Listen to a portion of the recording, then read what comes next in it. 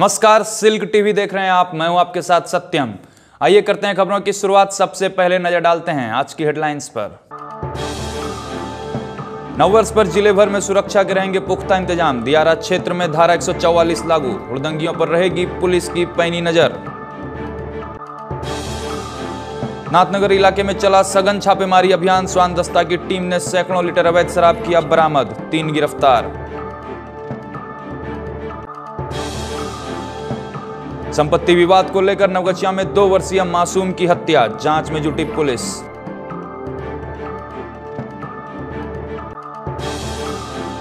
अनाज नहीं मिलने से उपभोक्ताओं की बड़ी परेशानी डीलर पर लगाया मनमानी का आरोप।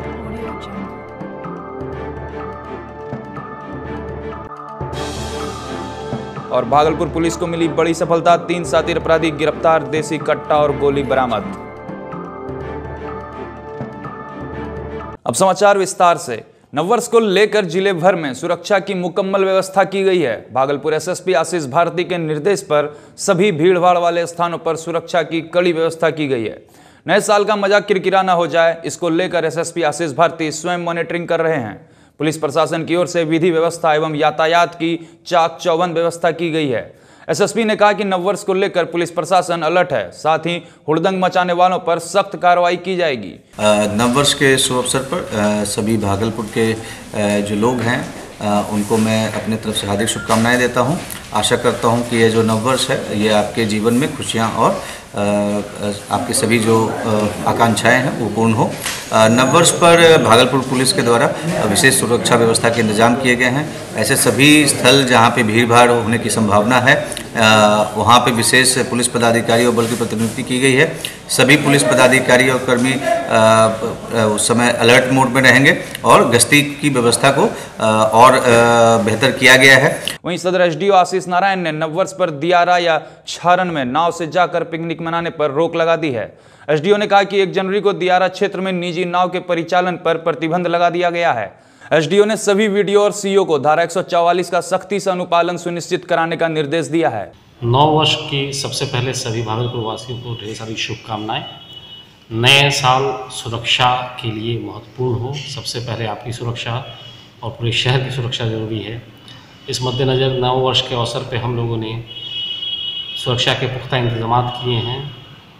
सभी जगहों पे जो महत्वपूर्ण स्थान है, वहाँ पे मजिस्ट्रेट और फोर्स की बहाली की गई है। इसके अलावा नदी क्षेत्र में अनिबंधित नावों के परिचालन पे रोक लगाई गई है। इस हेतु धारा 144 निर्गत की गई है और नाव के परिचालन पे पूर्ण रूप से बंद रहे रोक रहेगी।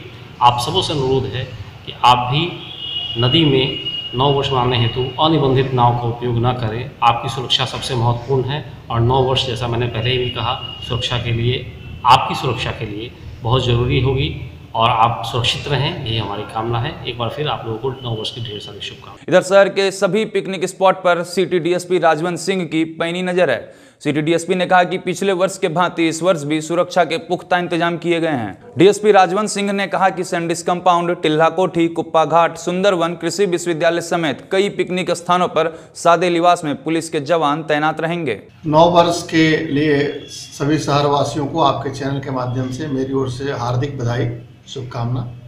और जहाँ तक सुरक्षा व्यवस्था का सवाल है, पूर्व की भांति इस साल भी जो मुख्य पर्यटक स्थल हैं, जैसे सैंडिस कंपाउंड हुआ इस तरह के जो बड़े सार्वजनिक स्थल हैं उन सारी जगहों पर पूर्व की भांति इस बार भी पर्याप्त मात्रा में पुलिस बल तैनात किया गया है। हम सारे लोग सक्रिय रहेंगे, गश्ती करते रहेंगे और आशा है कि सब कुछ बढ़िया से नव वर्ष की पूर्व संध्या पर अवैध शराब कारोबारियों के खिलाफ पुलिस ने अभियान चलाया। इस दौरान पुलिस ने ललमटिया थाना क्षेत्र के पासी टोला इलाके में छापेमारी की। छापेमारी के दौरान पुलिस ने महिला समेत दो व्यक्ति को मौके से गिरफ़्तार कर लिया। साथ ही सैकड़ों लीटर अर्धनिर्मित देसी शराब बरामद किया है। दरअसल ललमटिया पुलिस को अवैध रूप से शराब बनाने एवं बेचे जाने की गुप्त सूचना मिली थी, जिसके बाद थाना अध्यक्ष ओम प्रकाश के नेतृत्व में डॉग स्क्वाड की टीम ने पासीटोला इलाके में सघन छापेमारी अभियान चलाया, जिसमें ज़मीन के अंदर गाड़ कर रखे गए शराब के साथ शराब बनाने के उपकरण को बरामद किया गया है। छापेमारी की टीम में शेषनाग सिंह, रशन देव पासवान, शंकर कुमार, श्वान दस्ता के भूषण पासवान, बलराम कुमार सहित कई पुलिस जवान मौजूद थे। पुलिस जिला नवगछिया के थाना भीपुर में मंगलवार की सुबह दो वर्षीय मासूम की गला दबाकर चाचा और दादी ने हत्या कर दी। घटना को लेकर मृतक बच्चे की माँ ने बतलाया कि दो वर्ष पूर्व पति मोहम्मद मुन्ना की मृत्यु हो गई, जिसके बाद से ही वो अपने बच्चे के साथ ससुराल में रह रही थी। उन्होंने कहा कि ज़मीन में हिस्सा देने की मांग को लेकर कई बार उसके देवर मोहम्मद तौहीद और सास मुमताज़ बेगम ने मारपीट कर घर से भगाने का प्रयास किया। मंगलवार की सुबह बच्चे को खिलाने के बहाने ले जाकर उसकी गला दबाकर हत्या कर दी। वहीं घटना की सूचना मिलते ही मृतक मासूम के नाना अपनी बेटी के घर पहुँचे जिसके बाद पूरे घटना की जानकारी भीपुर पुलिस को दी। वहीं पुलिस बच्चे के सबको कब्जे में लेकर जाँच में जुट गई है। सास देवर सब मिल के मारा मेरे बेटे को फिर ले गया फुसला करके कहा कि हम से खिलाएँगे इसको दीजिए। तो हम नहीं दे रहे हैं तो कहे कि नहीं देंगे। तब भी फिर ले गया छीन को और वहाँ जाके नाक दबा के मार दिया मुझे कौन मरा? मेरा देवर मारा है तोहिद मोहम्मद तोहिद नाम है। मेरे सास का नाम है मुमताज़ बेगम। कब हुआ था? नौ साल हो गया शादी। तिलक में क्या सब दिए थे? तिलक में जितना दान दहेज था सब दे दिए थे। लड़का पैंतीस हज़ार रूपया दिए। पैंतीस हज़ार रूपया दिए थे। एक भर सोना दिए थे सर। सारा पति है? पति गुजर गए हैं सर। पति गुजर गए हैं। क्या नाम था पति का? मोहम्मद मुन्ना। कब गुजरे? दो हज़ार सत्रह में दो साल हो गया सर। पॉश मशीन से अनाज दिए जाने की व्यवस्था के बाद उपभोक्ताओं और डीलरों की परेशानी बढ़ गई है। एक तरफ़ डीलर्स एसोसिएशन ने आठ सूत्री मांग को लेकर एक जनवरी से अनिश्चितकालीन हड़ताल पर जाने की चेतावनी दी है। तो वहीं दूसरी तरफ़ अनाज नहीं मिलने से जन वितरण प्रणाली के उपभोक्ता परेशान हैं। मंगलवार को वार्ड संख्या 15 के जब्बार चक में राशन लेने पहुँचे उपभोक्ता डीलर ओम प्रकाश शाह की दुकान पर हंगामा करने लगे। उपभोक्ताओं ने कहा कि डीलर की मनमानी के कारण उनका नाम और आधार पॉस मशीन से लिंक नहीं हो पा रहा है। कई उपभोक्ताओं ने बताया कि एक माह पहले ही डीलर ओम प्रकाश को आधार कार्ड की फोटोकॉपी उपलब्ध करा दी गई थी, लेकिन डीलर ने कोई ध्यान नहीं दिया। वहीं वार्ड संख्या 15 के पार्षद प्रतिनिधि असगर अली ने कहा कि आपूर्ति पदाधिकारी को जानकारी देने के बाद भी कोई सुनवाई नहीं हो रही है। पार्षद प्रतिनिधि ने डीलर पर गंभीर आरोप लगाए और समस्या समाधान नहीं होने पर आंदोलन करने की बात कही। डीलर ओम प्रकाश ने कहा कि पॉस मशीन से आधार लिंक नहीं होने के कारण समस्या उत्पन्न हो रही है। दे रहा है चार दिन से बहुत दौड़ा रहा है कहता स्लिप नहीं निकल रहा तो आधार कार्ड नहीं जुट रहा तो क्या करेगा? हैं? गरीब आदमी कहाँ से खाएगा? ये कौन कौन नक्शा निकला? समझ में नहीं आ रहा कितना दौड़ेगा? वो डीलर के पास जाओ फलने डीलर के पास जाओ कहाँ कहाँ जाएगा आदमी? आदमी का इसमें नाम है ग्यारह आदमी का फ़ोटो स्टेट दिया मेरे लोग को राशन नहीं मिल रहा। और उसके बाद हम कहाँ कहाँ जा दौड़ा? बीमारी आदमी हम लोग। बूढ़ी आदमी है। और हमको राशन नहीं मिल रहा चार दिन से एकदम दौड़ दौड़ कर रही है। तो के शहर नहीं है। गरीब आदमी है। समझा ना? और बीमारी आदमी है। देखिए डीलर सब पास भेज दी इसकी जाइए बहुत डीलर के पास बस डीलर के पास। गए वहाँ तो कहीं कि जहाँ आप राशन मिल रहा आपको जाइए आपको वहीं राशन मिलेगा। आधार कार्ड बहुत का नहीं जुटा है सर। और जिसका जुटा है उसका सामान दे रहे हैं। बस चल रहा है। उसी से ही जो निकल रहा है वही कार्डधारी का नाम लिख रहे हैं। सामान दे रहे हैं यहाँ पे हमारे वार्ड नंबर पंद्रह की जनता जो है बहुत परेशान है। जितने भी डीलर है सब एकजुट हो गए हैं। ये लोग सब मिल करके जब यहाँ से महिला जाती है तो ये लोग को- ये लोग बोलता है तुम जहाँ जाना जाओ एमओ को पैसा खिलाते हैं एसडीओ को पैसा खिलाते हैं और सप्लान इंस्पेक्टर को पैसा खिलाते हैं। इस टाइप का व्यवहार है। इनको बोलता है जहाँ तुम जा सकती हो जाओ। महिला सब रोती है मगर इन लोग को अनाज नहीं दिया जा रहा। सबने जमा किया आधार कार्ड। मगर आधार कार्ड जमा करने के बाद इन्होंने एंट्री नहीं, नहीं कराया जानबूझ करके। और एंट्री कराती तो ऐसी समस्या नहीं उत्पन्न होती। नववर्ष को देखते हुए वरीय पुलिस अधीक्षक आशीष भारती के निर्देश पर अपराध नियंत्रण के लिए चलाए जा रहे छापेमारी अभियान के दौरान भागलपुर पुलिस को बड़ी सफलता हाथ लगी है।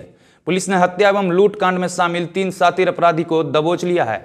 मंगलवार को एसएसपी आशीष भारती ने प्रेस कॉन्फ्रेंस कर पकड़े गए अपराधियों के बारे में विस्तार पूर्वक जानकारी दी। एसएसपी ने कहा कि ज़ीरो माइल और तिलकामांझी थाना क्षेत्र में पिछले दिनों राहगीरों के साथ लूटपाट मामले में सातिर अपराधी सुर्खीकल निवासी मनीष कुमार उर्फ़ मनिया को गिरफ़्तार कर लिया गया है। वहीं एसएसपी ने कहा कि आधा दर्जन मामले में फरार अपराधी बरारी निवासी अभय यादव को गिरफ़्तार कर लिया गया है।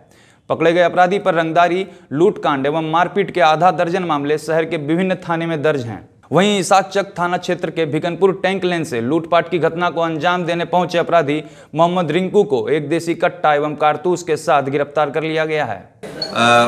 भागलपुर पुलिस के द्वारा लगातार अपराधियों के विरुद्ध अभियान चलाया जा रहा है। इसी क्रम में अ, कल अ, तीन कुख्यात अपराधियों की गिरफ्तारी की गई है। जिसमें से एक है मोहम्मद रिंकू उर्फ़ अशरफ आलम जो कि पूर्व के लूट कांड में वांछित था। उसके बारे में यह सूचना मिली कि वो इसाकचक थाना क्षेत्र में आपराधिक घटना को अंजाम देने के लिए आया हुआ है और इस सूचना पे सत्या, के सत्यापन तथा आवश्यक कार्रवाई के लिए एस एच इसाकचक के द्वारा अपनी टीम के साथ छापेमारी की गई और उसमें मोहम्मद रिंकू उर्फ़ असरम आलम को एक देसी कट्टा और एक ज़िंदा कारतूस के साथ गिरफ़्तार किया गया है।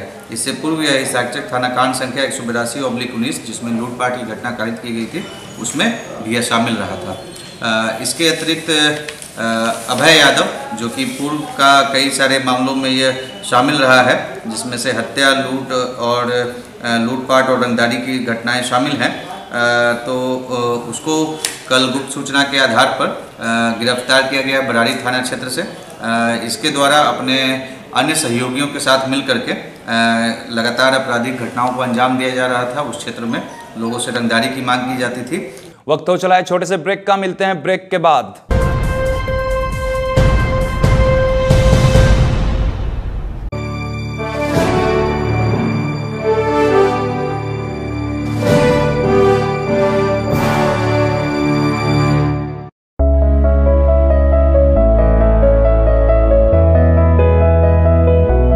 देश का आंग्ल वर्ष है, अंग्रेज़ी वर्ष में कैलेंडर ईयर बदलने वाला है। 19 से 20 की ओर हम लोग जा रहे हैं। तो सभी परिवारों में खुशियाँ आए सभी जो अपना काम कर रहे हैं, उसको इसी लगन के साथ अगले वर्ष भी बढ़ाएँ। सभी के घर में संपन्नता आए और भगवान से प्रार्थना करूँगा कि आप इसी प्रकार देश के नवनिर्माण में अपना योगदान देते रहें। बहुत बहुत शुभकामनाएँ। सभी देशवासियों को नव वर्ष की हार्दिक शुभकामनाएँ देता हूँ।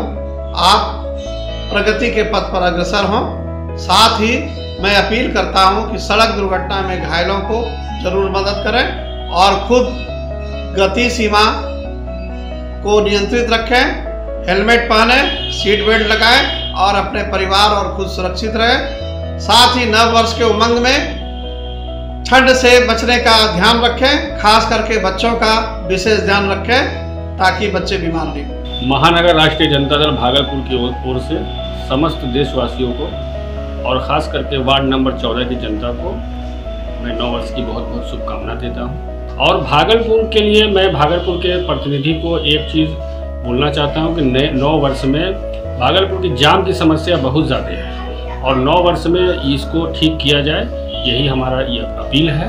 मैं डॉक्टर अशोक कुमार आलोक, भागलपुर जिला वासियों के साथ साथ समस्त देशवासियों को नव वर्ष 2020 की ढेर सारी हार्दिक शुभकामनाएँ देता हूँ। साथ ही साथ मैं ईश्वर से प्रार्थना करता हूँ कि हमारा देश नए वर्ष में एकता और भाईचारे की भावना के साथ आगे बढ़े।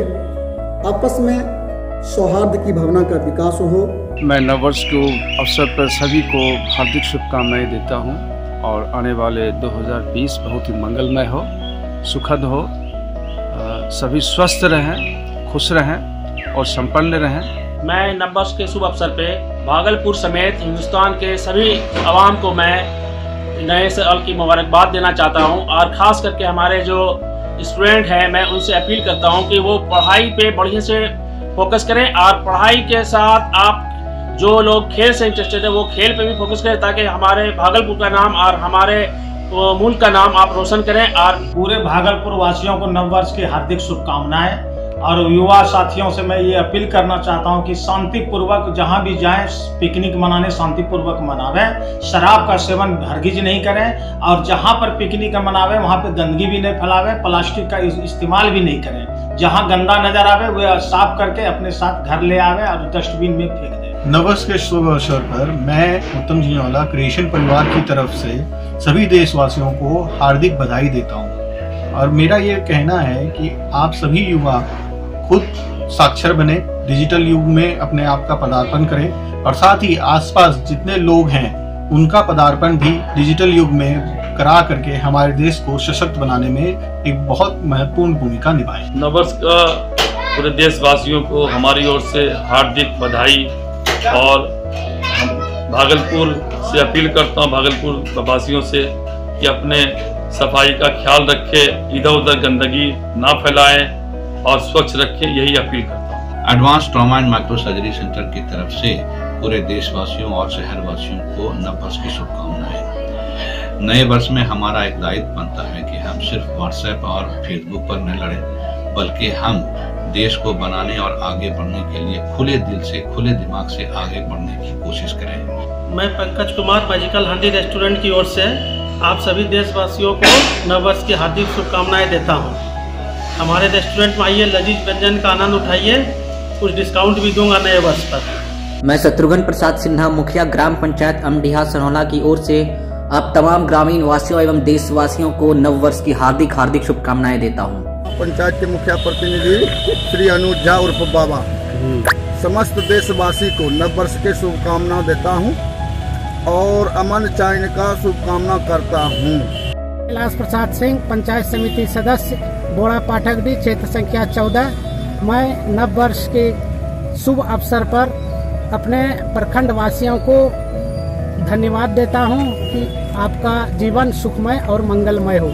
मैं सुभाष चंद्र भगत मुखिया ग्राम पंचायत सिलहन खजुरिया सनौला की ओर से आप सभी ग्रामीण वासियों को एवं देशवासियों को नव वर्ष की हार्दिक शुभकामनाएँ। मोहम्मद बशारुल हक मुखिया ग्राम पंचायत भतोड़िया। मैं सभी देशवासियों एवं भतोड़िया पंचायत की जनता को नव वर्ष का ढेर सारा शुभकामना देता हूँ। और आशा करते हैं कि आने वाले नव वर्ष में सभी उन्नति करे, यही मेरा कामना है। मैं मोहम्मद सोहेल अंसारी, वार्ड नंबर पाँच। आप समस्त देशवासियों को नव वर्ष की हार्दिक शुभकामनाएँ देता हूँ। और अपने गाँव शहर की गंदगी को साफ़ रखें और स्वस्थ रहें। जय Hind.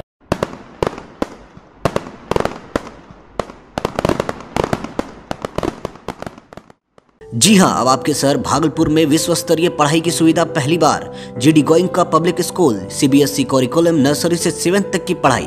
Centralised air condition campus AC bus with GPS and CCTV चाहे आवासीय हो या डे स्कॉलर बच्चों के सर्वांगीण विकास के लिए पढ़ाई के साथ साथ योग, खेल, कला और ई लाइब्रेरी भी। हमारा पता है GD Goenka public school Jichho Bishanpur Bhagalpur contact number seven six seven two eight zero zero zero one zero admission is going on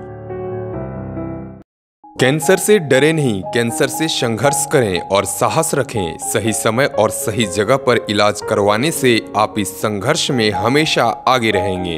और इस संघर्ष में आपके साथ है भारत विख्यात हॉस्पिटल समूह नारायणा हेल्थ। ज़्यादा जानकारी के लिए कॉल करें nine one nine nine four four six five seven one. याद रहे nine one double nine four four six five seven one. Narayana health. शानदार बैंकवेट हॉल में भव्य शादी का आनंद लीजिए अब अपने शहर भागलपुर में। शहर के हृदय स्थल तिलका मांझी चौक पर स्थित मान्यवर बैंकवेट हॉल अब आपकी सेवा में सदैव तत्पर तेईस हज़ार वर्ग फीट में फैला मान्यवर बैंकवेट हर तरह की आधुनिक साज सज्जा एवं सेंटरली एयर कंडीशन के साथ शादी रिसेप्शन पार्टी एवं अनेक आयोजनों में चार चाँद लगाने को तैयार। शानदार वेन्यू एवं लाजवाब गेस्ट हाउस बिहार झारखंड का इकलौता स्मार्ट बैंकवेट हॉल आपके शहर भागलपुर में अब आपके लिए।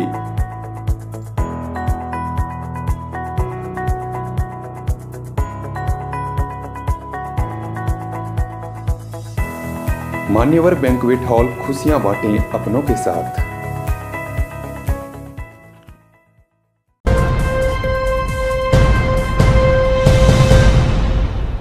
ब्रेक के बाद फिर से आपका स्वागत है। बढ़ते हैं अगली खबर की ओर। भागलपुर के सैंडिस मैदान में मंगलवार को समवेत संस्था की ओर से नाटक मंचन किया गया। इस दौरान कलाकारों ने मट बांटो इंसान को और अभिलाषा की मृत्यु नाटक की जीवंत प्रस्तुति दी। दोनों नाटकों का निर्देशन समवेत के अविनाश तिवारी ने किया। अविनाश ने बताया कि मत बांटो इंसान को नाटक में मानवीय मूल्यों को दर्शाया गया है। वहीं अभिलाषा की मृत्यु में बाल मजदूरी एवं शिक्षा की बातों का जीवन चित्रण किया गया है। इसके पूर्व बाल विवाह बाल श्रम शोषण और बाल मजदूरी पर पोस्टर प्रदर्शनी लगाई गई। इस मौके पर विक्रम वर्षा उदय सत्यम साक्षी दिव्यमणि चैतन्य समेत कई रंगकर्मी मौजूद थे। शाम पे आयोजित किया गया है मतलब ये साल जब समाप्त हो रहा है तो हम लोग जो पूरे साल एक्टिव रहे हैं बाल अधिकार के मुद्दे को लेकर सांस्कृतिक माध्यमों से। तो उस उसी को लेके हम इस साल के अंत में हम लोग समापन कर रहे हैं इसका। और चूँकि यह अभियान जारी ही रहेगा लेकिन हम लोगों ने जितना भी अभियान चलाया है सांस्कृतिक इससे तो उसको लेके हम लोग यहाँ पे इकट्ठे हुए हैं। वेद है वो मुख्य रूप से बाल अधिकार केंद्रित संस्था है। और वो मुख्य रूप से समाज में जो आज हम लोग नाटक देखेंगे वो नाटक हम लोगों ने खुद उसको तैयार किया। और बिहार के लगभग 10-15 जिलों में ये रेगुलर साल भर चला है। और इस सांस्कृतिक अभिक्रम के द्वारा हम बाल अधिकार की स्थापना कैसे कर सकते हैं। सालों भर ये प्रक्रिया चली और आज अंत भी हम लोग उस प्रक्रिया से करें और शुरुआत भी कल कल भी हम लोग इसको करेंगे अलग अलग जगह। भागलपुर इसाकचक थाना क्षेत्र के लालूचक भट्टा रोड के समीप मंगलवार की सुबह दो पक्षों के बीच जमकर मारपीट हुई। घटना में दोनों पक्षों के चार लोग घायल हो गए, जिसे इलाज के लिए पुलिस ने मायागंज अस्पताल में भर्ती करवाया है। घटना को लेकर बताया जा रहा है कि एक पक्ष के प्रसादी तांती अपने दुकान पर बैठा था। तभी इसी दौरान सागर तांती दुकान पर पहुंचकर उधार सामान देने की मांग करने लगा। वहीं प्रसादी तांती ने उधार सामान देने से इनकार कर दिया, जिसके बाद सागर तांती ने गाली गलौज करते हुए अपने सहयोगियों के साथ दुकानदार प्रसादी तांती पर ईट पत्थर से हमला कर दिया।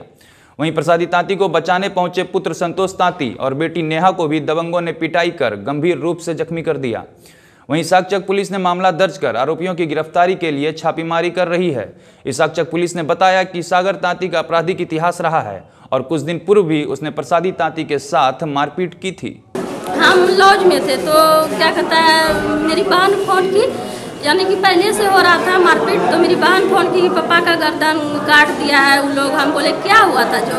तो बोले, क्या है कि देखो ना, पापा कहीं से आ रहे थे दुकान के पास, यानी कि मेरा घर के बगल के पास रोड है ना, रोड साइड मतलब कि वहाँ पर दुकान है तो क्या कहता है भाई मेरी बहन क्या बोली कि देखो पापा का गर्दन सब उड़ा वो लोग तलवार लेकर आया वो लोग पूछ तो है। हम लोग भाई बहन को क्या और हम लोग को भी बहुत मारा है हॉस्पिटल हम लोग जा रहे तुम और।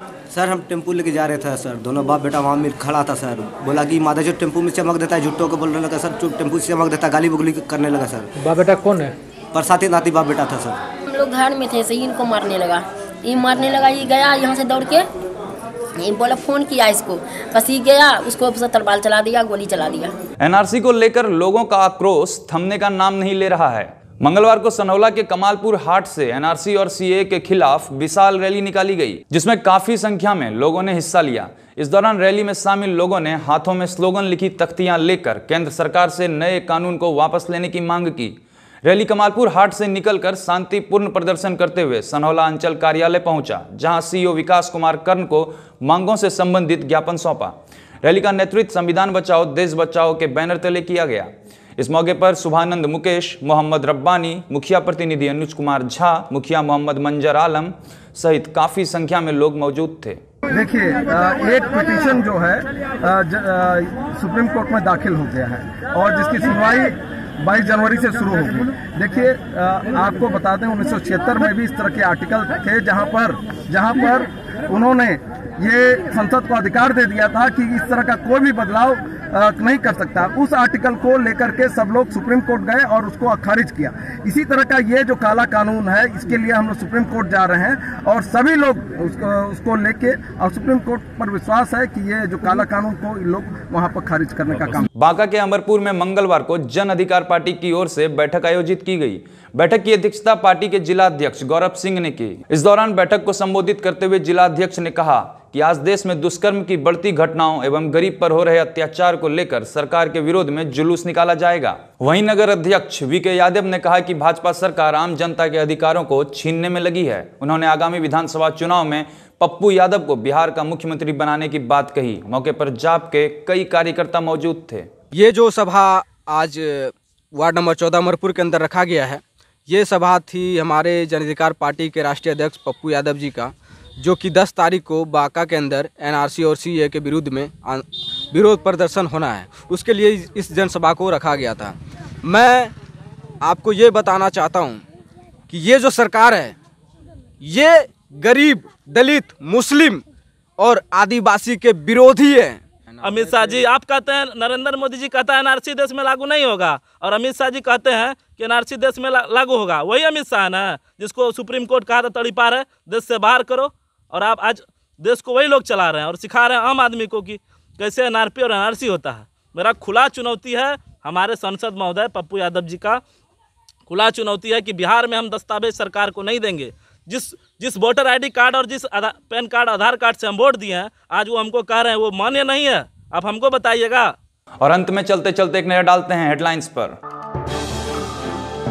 नववर्ष पर ज़िले भर में सुरक्षा के रहेंगे पुख्ता इंतज़ाम। दियारा क्षेत्र में धारा 144 लागू। हुड़दंगियों पर रहेगी पुलिस की पैनी नज़र। नाथनगर इलाके में चला सघन छापेमारी अभियान। स्वान दस्ता की टीम ने सैकड़ों लीटर अवैध शराब किया बरामद। तीन गिरफ़्तार। संपत्ति विवाद को लेकर नवगछिया में दो वर्षीय मासूम की हत्या। जाँच में जुटी पुलिस।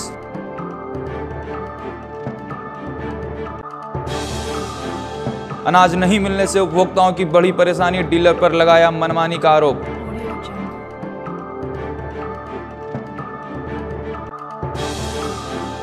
और भागलपुर पुलिस को मिली बड़ी सफलता, तीन साथी अपराधी गिरफ़्तार, देसी कट्टा और गोली बरामद। फ़िलहाल इस बुलेटिन में इतना ही। नमस्कार।